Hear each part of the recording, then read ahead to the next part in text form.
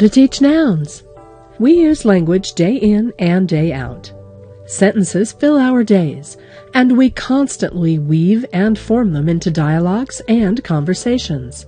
Our use of language is so common and so frequent that it has become almost subconscious. So when we are confronted with the task of having to look at language's structure or parts, such as the parts of speech, for example, and even more so having to teach those parts, we sometimes find ourselves a bit dumbfounded. Indeed, many are so proficient in using a language, but find themselves facing difficulty in explaining how language is used. So, if you would need to know how to teach nouns, for example, how should you go about it? It is actually not as hard or as sorted as it may seem.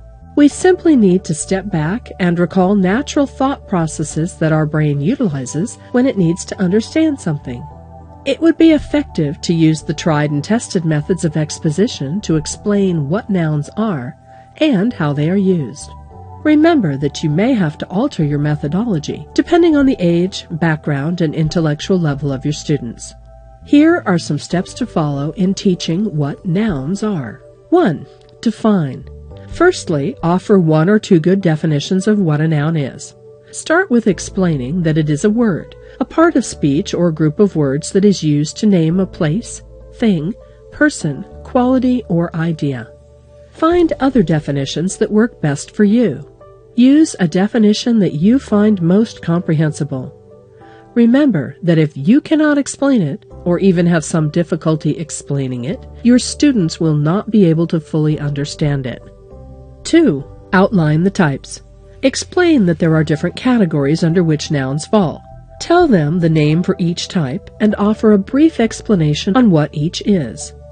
Different sources may offer different labels or even different classifications. Use a reference that uses standard classifications and that is appropriate for your students.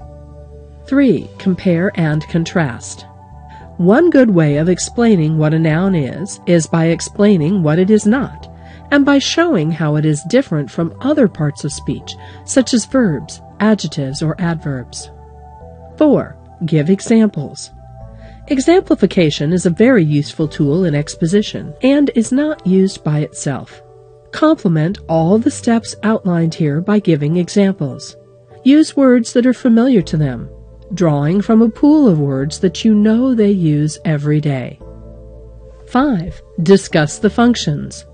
So, after explaining what a noun is, now it is time to explain what it is for and how to use it. Enumerate and then briefly explain what each function is and how it plays out in the sentential level.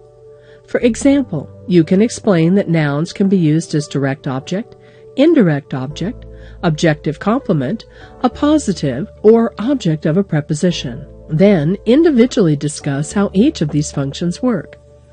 Again, remember that different sources may have different names for the functions. Try to be as standard as possible. 6. Visual reinforcement. Visual reinforcement is very useful for children especially, but works for adult students as well. One can use flashcards or actual objects to associate with the abstract concept of a noun so as to give a more concrete understanding of what it is. For adults, you can come up with a PowerPoint or visual presentation with graphics and images so as to facilitate better recall and comprehension. 7. Use games. Again, this method works wonders with children, but also works well for adults provided you choose age-appropriate games. Teaching through games relaxes the mind and puts the pressure off learning, yielding an atmosphere conducive to learning. 8. Sentence construction. Lastly, let them use nouns in a sentence. This final step will determine if they have fully understood what a noun is and if they know how to use it. In knowing how to teach nouns, remember that the important and determining factor for your methodology is the type of students you have.